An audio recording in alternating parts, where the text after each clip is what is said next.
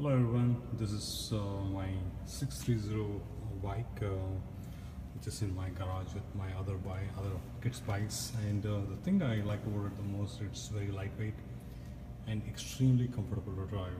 So uh, when I say easy to install, um, the front wheel is uh, easy to pop open, you just open it up and if you want to put it on your bike carrier it's fairly easy to do it. All you need to do for installation is put the front wheel and uh, put the handlebar and the pedals and the luggage carrier and the seat. The seat looks thin, but even though it looks thin, it's extremely comfortable compared to the other bikes.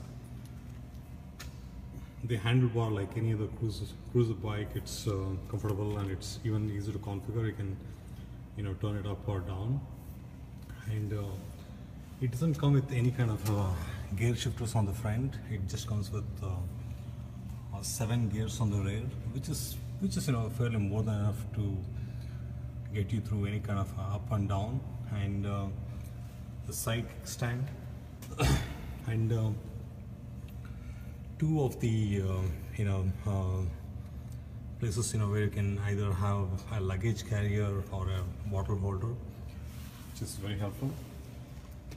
Overall, um, you know, just loving the bike so far. Uh, lightweight, easy to assemble, and extremely comfortable. And uh, overall, the quality of the stuff seems to be very good. Um, you know, I, when I assembled it, I felt that you know this was, uh, you know, something which is going to last me at least another ten years or more. Okay, thank you.